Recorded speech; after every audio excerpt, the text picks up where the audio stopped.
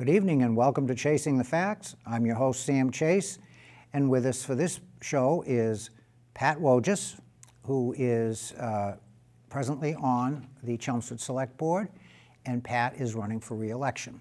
Uh, for those folks who are watching, our town election is, uh, correct me, Pat, if I'm wrong, I think it's April 5th. That's Is that correct. correct? So we were having a town election on April 5th, and it is just a town election, town-wide offices, so we have select board, we have school committee, uh, we have all of the uh, town meeting rep seats that are up this time because of the redistricting. So that's the election date, and Pat is an incumbent running for reelection. So Pat, uh, why don't you take just a minute and give us a little bit of a biographical sketch, and then we'll get into the discussion. Okay, well, I have been on select board, as you mentioned, for about 13 years now, maybe a little bit more than that. Um, I, before that, I was a, a member of the Board of Library Trustees, and uh, I've been a town meeting rep for not the entire time that we've had that, that form of government, but I've been, you know, in and out pretty, pretty much the, you know, the majority of the years that we've had that form of government. Um, I've always been informed and have followed local politics and, you know, local government. Um, I couldn't name every, every member of the select board from, from when, um, you know, that, I, that I've been in town, but um, I probably know or have heard of most of them. Um, and, and I think that's, that's uh, you know, important when you want to be on a board like this, to, to kind of have a sense for what the different boards do and who's on them and what their um, ideologies are and their, you know, uh, how, what, how they want, how they see the, the uh, town government uh, running. So that's what I've been trying to do. So you've, you've come up really the, what we would probably call the traditional way. Before you, your first attempt at town office was not to run for the select board. It was to That's correct. some, take some preliminary steps. And, uh, and, you know, recently we haven't seen that, but, uh, you know, it used to be that you followed some sort of a path. Usually you start out as a town meeting rep, as you did, and then maybe you serve on one or two other boards uh, that, that are not, uh, of, of, that are of lesser um, degree, if, if that's the right word. Sure. And you gain an understanding of how the, uh, of how the town works. So that's the background you've had. I'm going to mention one thing you didn't because I think it's important, and I greatly respect uh, your veteran service. Uh, Pat, Thank you. uh, was it six years active? Uh, no, um, I, I went through ROTC at UMass Amherst, And you were the first first woman in Massachusetts. First woman in Massachusetts to have done that. That's quite an accomplishment. And you, so you went in the Air Force as an officer That's correct. and served uh, a number of years of active duty. And I think uh, you and Mark are the veterans on the That's on, right. On the board now. So, um, and I, I greatly respect your service and thank you very much uh, for, for that. Um, So uh, let me ask you this, and it, I just so happens I remember when Pat was elected because I happened to be serving on the select board at the time, and Pat was uh, elected in 2007 That's uh, right. for the first time.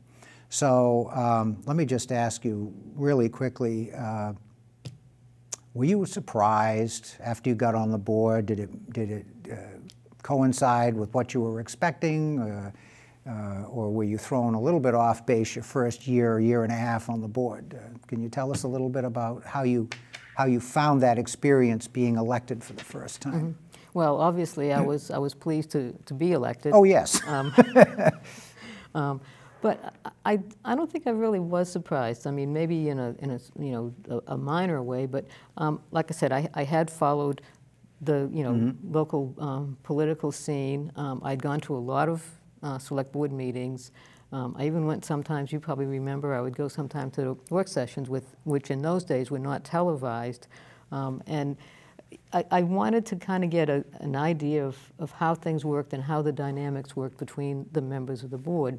So when I got on, I, I realized that not everybody's going to have the same idea about everything, but uh, you know, we obviously talked. You know, we were civil with each other.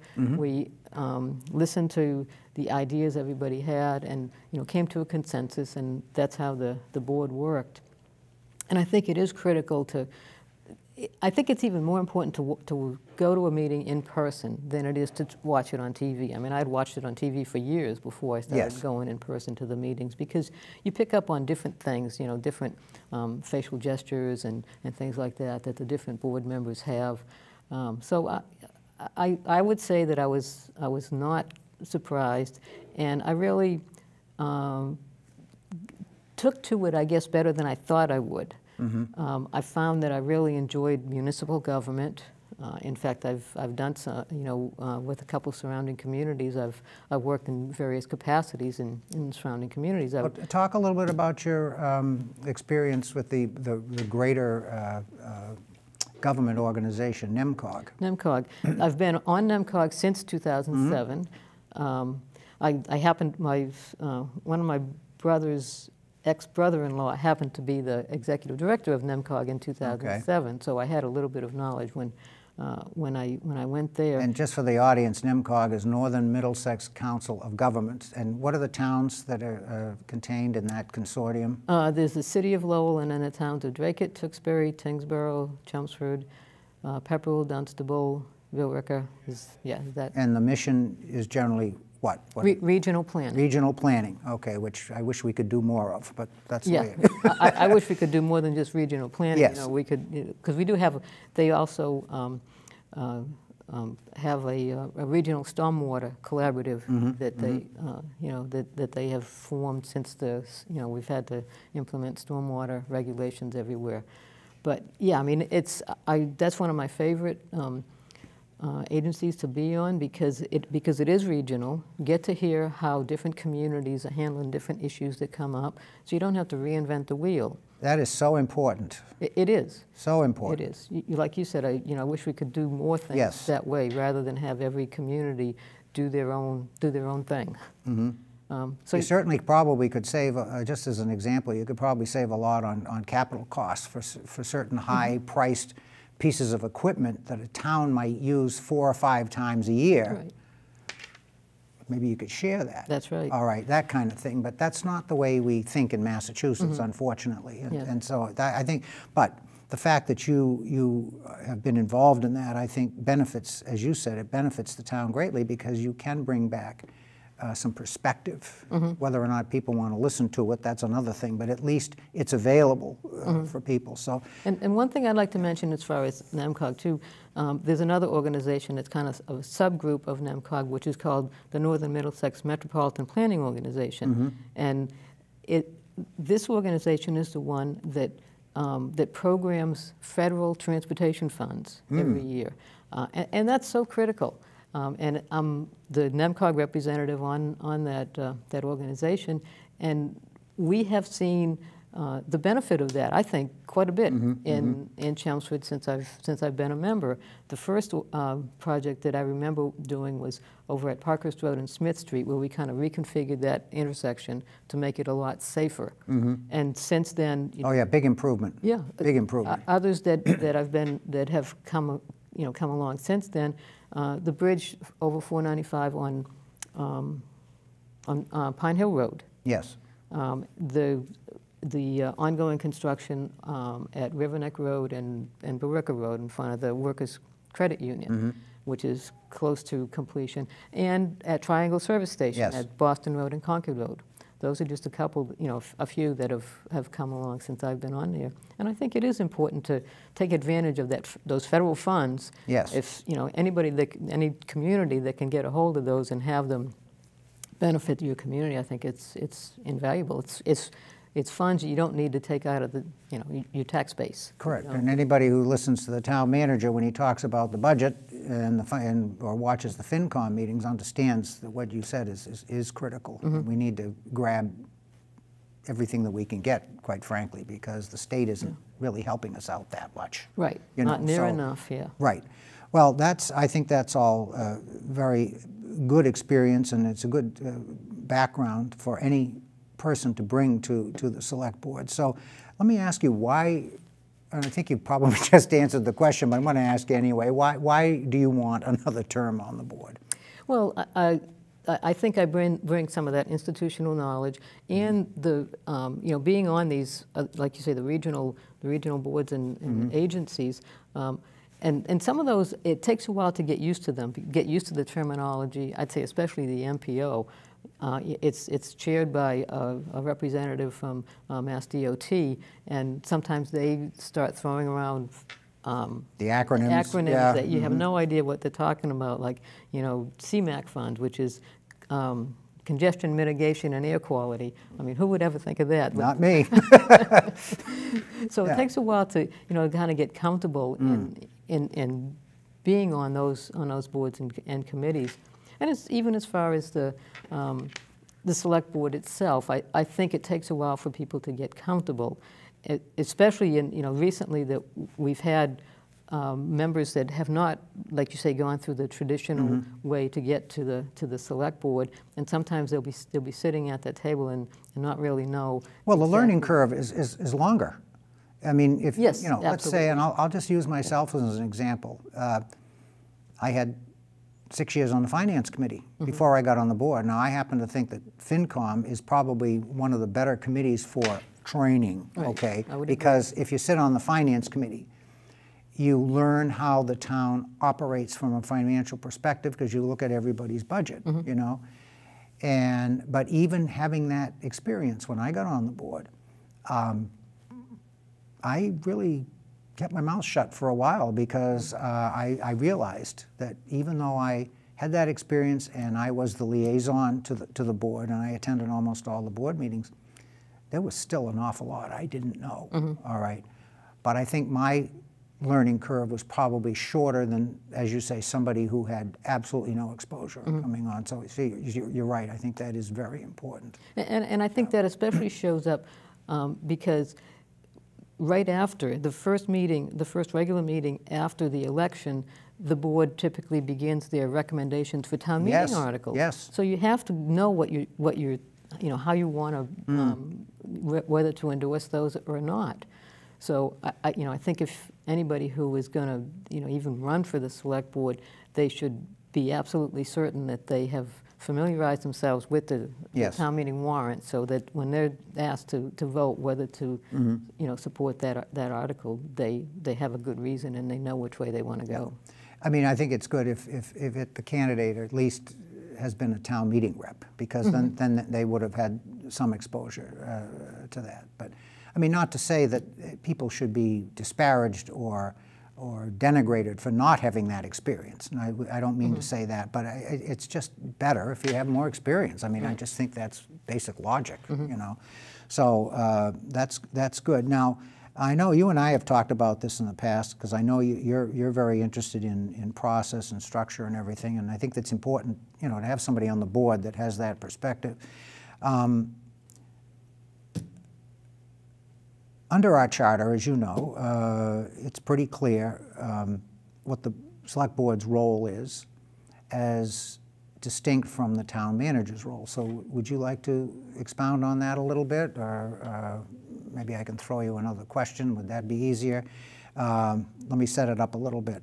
Um, under our structure, the select board operates more in a board of directors um, perspective as opposed to a direct operational perspective, and that those functions are reserved to the town manager, and it does sometimes uh, create uh, some conflict. And this isn't anything that's new. I mean, I've, I've seen this going back many, many, many, many years, okay? That sometimes those lines are blurred and they're not clear. So could you expand a little bit, maybe give us your philosophy? How do you feel? Do you think this is a good structure for Chelmsford? Are there things that could be done differently? That kind of thing. Yeah, I mean, I, I think it works well uh, Mm-hmm. for Chelmsford. Um, our town manager is a professional, unlike you know some communities. They hire city and town managers that maybe get there more because of their politics than because of their knowledge. Really? So how about that? what a shock. we won't give any examples. No, let's not, let's not talk about that, yes. Um, and, and then the, the select board is intended to be primarily a policymaking uh, organization and licensing. You know, that's, uh, Mm-hmm. Yes. I, I would say those are the two primary goals, you know, primary um, responsibilities and authorities of the select board.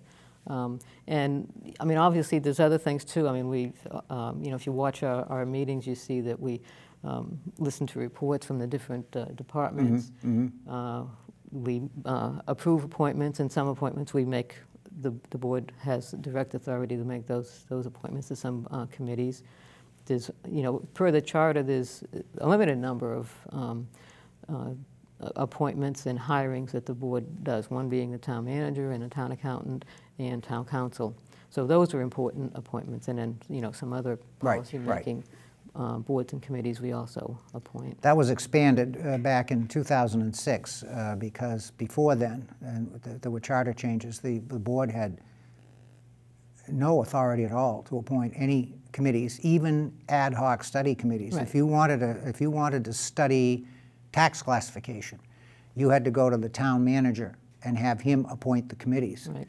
And we made the change uh, back uh, in, in 2006, or 7 actually, we made the change to add, to give the selectmen the ability to appoint ad hoc committees. I mean, it just didn't make any sense, and I, I was on the select board at the time. It made no sense at all to me that we had to go to the town manager and ask him to do that for us. If it was something we wanted done directly, you know, just from an advisory standpoint, we, we couldn't appoint, appoint statutory committees, obviously, okay? So, uh, so I think that's, that's, a, that's a good example. So, um, now, as far as the uh, relationship that, uh, the, uh, between the board and the manager, um, you think that's pretty much worked out? How, how has that worked out in your uh, perspective over the last several years? I mean, I, I think it, it works okay. Um, I mean, I, I find the town manager very responsive to requests that, that you know, constituents bring to me and then I bring to him. Um, I, I think sometimes it, it does, like you say, come close to the, to the line going, you know, blurring the lines one way or another. But generally, we seem to work that out um, to, uh, to mutually beneficially, which is always a good thing.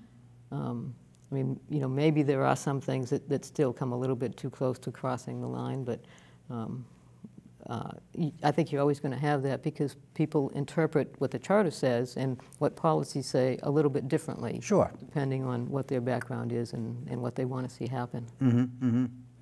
So uh, currently, of course, uh, Paul's been with the town, I think, 15 years, is that right? A little, maybe a little more than 15 Maybe he, years? yeah, he started the end of '06. Oh, six, that's right. So he's been here that, that, and he's obviously served under many uh, different boards. Mm-hmm. And he's always had a, uh, an employment contract, and presently he's working without a contract. That's So correct. Is there any, uh, do you see that uh, that situation will resolve itself anytime soon, or? Um, I, I'm unsure on that. I, I, Mm-hmm. I wish it would. I mean, I, I think Paul deserves a contract. Like you say, he's always had one Mm-hmm. up until the last year and a half or so. Um, I, I would like to see him stay here until he, until he makes a decision to Mm-hmm. retire. Um, you know, unless that's going to be 20 years from now, but I don't think that's No, I don't think so. so, um, I mean, as far as if anything will happen on that, in the, in the near, f- near term, Mm-hmm. um, you know, I'm not the chair, so I don't, I don't um, schedule meetings. Right, right. So you'd have to ask somebody else that. Okay, all right, that's, that's, that's fair. That's fair. So um, how do you, what do you see uh, looking forward um, as the biggest issues that are facing the town from a management and/or budgetary perspective? Uh, Well, at our, at our last meeting, we, we saw, we heard a report about the uh, status of all the streets in town. And we have quite a few that are uh, deteriorating and, and almost in the unacceptable range, I could guess you could say. Not too many, but, you know, obviously every, every year we get more. And we don't have nearly uh, sufficient funds in order to maintain those streets. Uh, We try to um, do as many as possible. The state hasn't helped us. no, state has not helped us. Uh, That, we've been flat fund, you know, funded on that for, since, you know, for over 12 years now. Um, Last year, we did get a few extra dollars, and then this year, I think the governor is, is maybe going to increase those, those funds a little bit more. But yeah, it's, it's not near what we need, um, and everybody thinks that their own street is the worst one in town and needs to have the most attention paid to it. Yeah, it's like when it snows, everybody wants their street plowed by 7 o'clock in the Right, morning. they want to be first, yeah. So that's not possible, folks. Yeah, it isn't, you know, I, I mean, I, I- tell Yeah. people sometimes if we had unlimited resources, we We had a plow at every, at the end of every street, maybe we could do that, Yeah, but it but- doesn't work that way, No, it- it- unfortunately. It, Yeah. it definitely doesn't, doesn't. So we have, we have, you know, those issues as far as, uh, you know, resources. And then, as you mentioned, PFAS, um, that's a, an issue that's becoming more prevalent everywhere. Um, You know, our water districts are impacted by that. And because of that, I think the town is impacted by that. Because we have to be sure that we're not contributing to uh, some of the PFAS Of contamination to- on the water supply. Of course, and, and, you know, that discussion, uh, you know, you you mentioned PFAS, that discussion has been ongoing for quite some time, and it's, it's good.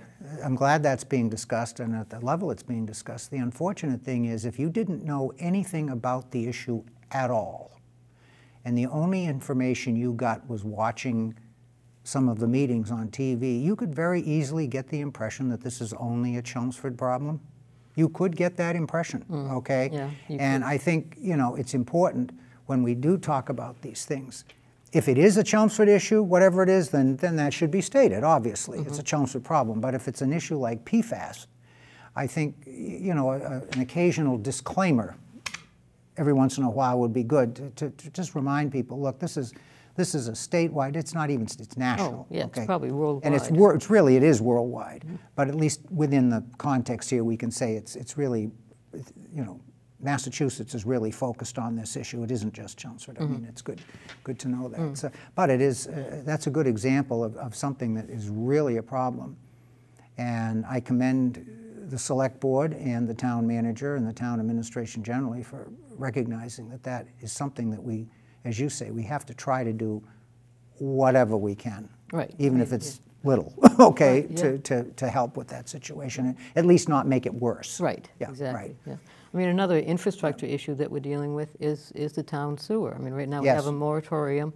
Uh, In the short term, we're, we're trying to come up with some way to increase capacity, but short of that, uh, you know, e- every new development, every new residence has to Mm-hmm. have their own, their own septic or. or- So that, right now, that would even apply if we were just building one house, that resident would, would not, would be told, you have to put in a septic system. That's correct. Okay, all right, yeah. I mean, and that's kind of impacted the Board of Health somewhat, because Yeah. it's been years since they've had to go out and do, you know, testing Oh, and stuff like yes, like that for- absolutely. For that, so I think right now they're contracting all that, uh, Yeah. all that, that out. And the, and the rules are a lot tighter than they were back in the days when they had to do that, because we Right. Mm-hmm. have Title V and things like that now, so that's tough. So uh, from a budgetary standpoint, um, I mean, that's always, we always talk about the same things every year. There's never enough money Hmm. Right. to do everything that everybody would like to have done, so you have to make choices. Uh, Getting back to your example for the street issue. Mm-hmm. So I- if I remember, I did watch the presentation. Christina Papadopoulos did an excellent job. Very, very clear. Mm-hmm. If you had no knowledge at all, you, you could watch that presentation and get a pretty good understanding of, of the issue, I Mm-hmm. think. So I think the takeaway number was $39 million to bring everything up to whatever the spec should be Right. reasonably. So that isn't going to happen. No, and right now, we're- we're lucky to get a million and a half, and it's Right. usually a little bit lower than that. Right. So uh, what are the alternatives? So if the state doesn't come forward and give us any more, which it doesn't, you know, you can't count on it. It's been, as Pat said, it's been level funded for 10 years, which really means it's been decreased because of the effects of inflation. So your, your dollar 10 years ago is probably worth about 60 cents today. So that's, uh, you know. And, and with, Yeah. with road construction, maybe even less than that. Oh, yeah. Especially now. Yeah, the inflation in that sector is probably worse Yes. than, than it is just generally. That's, that's a good point. So what, what are the alternatives? So if the town decides they want to fund that, where are they going to get the money from? That's a good question. Yep. I mean, you know, we, we don't, we don't get much help from the state and even less Yep. from, from the federal, you know. That's why I think this, the MPO is, is so critical Mm-hmm. because when we get those, those funds. when we Going back to your regional Yeah. discussion, right? Yeah, then at least the areas where tho- Mm-hmm. that construction is going on, they do um, improve the, the road, like, you know, North Road over 495. I think that was, Mm-hmm. that was greatly enhanced few years ago when, when that was put in, that new street, you know, new traffic light and, and over that's. that- And I think that's important because I'll tell you, I'll be honest with you, Pat, I, I consider myself reasonably plugged in, but I, I'm not sure I was aware to the extent that that was a, any kind of a regional effort. I mean, I think I just learned something from you now. Mm-hmm. And- And I, I think that's, that's important for people to understand and why that perspective is, is, is so important. So, of course, everybody hates paying taxes at any level. That's right. I don't care whether it's income or property, but the property tax seems to trigger uh, a degree of uh, concern with people. we'll just Yeah. we'll just say that. Uh, so, um, I mean, what are you, what are your thoughts on that? I mean, I know the board put in uh, the split tax rate four years ago, Mm-hmm. but that doesn't mean that your taxes aren't going to go up every year because they are right, they are. pretty much. Yeah, I, I, I- you know, I think the real estate tax, in my mind, is one of the most regressive taxes because Sure. it doesn't matter how much, how much income you have, your property taxes are still going to go up. Correct. Like you said. Um, I, a few years ago, I it was probably close to 10 years ago now, I remember we had local option taxes, that we had the, Mm-hmm. the option, as it, the, the name implies, to implement um, taxes locally. Is that when we got our portion of the meals tax? Correct. That's when that happened. And the, yeah. and the hotel tax. right. Yes. Um, I- think that was important, you know, there were people that, at that time that said, oh, you know, if we implement a, uh, a meals tax, everybody's going to go to the surrounding communities that Yeah, that on a- I think have the example given, if I remember in town meeting, was on a hundred dollar uh, meal, uh, it's going to be an extra seventy-five cents. Exactly, yeah. So and- and if you're going to, if you're going to go to uh, some other area for seventy-five cents on a hundred dollars, well, then you must have free gasoline in your car. That's my only comment. Yes, comment. right. So, Yeah. So, I mean, if, it would be nice Yeah. if, if we could come up with some more local Right. options like that. I don't know what they would be, but, you know, that is one, uh, one suggestion. Um, It can't be an override, because an override would not. not in pass. Chelmsford No. at this point. You're right, you're right. No. So your, your general feeling, though, is that the administration does a reasonably good job of, of managing the resources that we do have and making sure that the priorities. I think they do a very good job. Yeah. More than reasonably good, yeah. I think if, uh, you know, regardless of how you feel overall, but looking at the uh, town manager's past review, uh, I think everybody gave him high marks on, on uh, fiscal management and and budgetary uh, issues and so forth, so that's good. Um, So, just very quickly, because I, I want to give you a little opportunity at the end to, to speak to the voter, but uh, just, if you had to identify one pressing near-term priority, uh, do you have an idea what that might be from your perspective? Um, That's, that's a tough one, because there are so many, as, Yes. as, as we've talked about.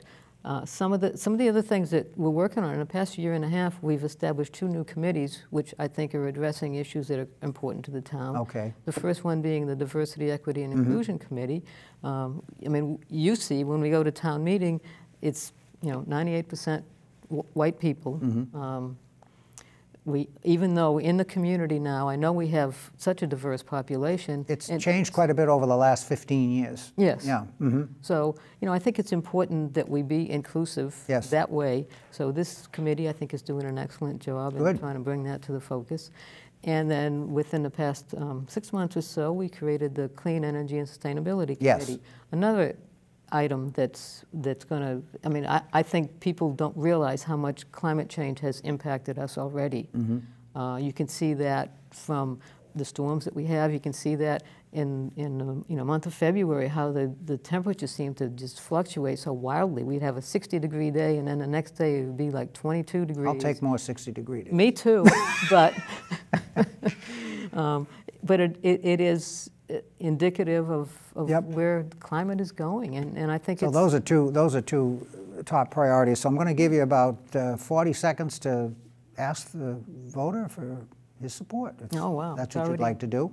I already have just 40 seconds left, Yeah. okay. Um, My name is Pat Wojtas. I am running for reelection to the Chelmsford Select Board.